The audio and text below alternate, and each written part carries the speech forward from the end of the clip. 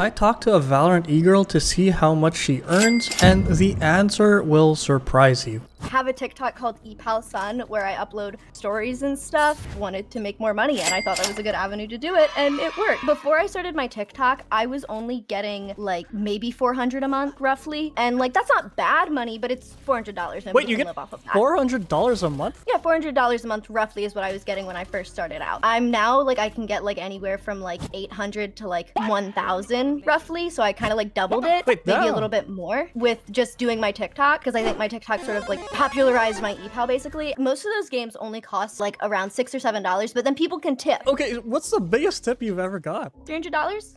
I once got a three hundred dollar tip. That was the biggest I got. That's like your entire one month earning.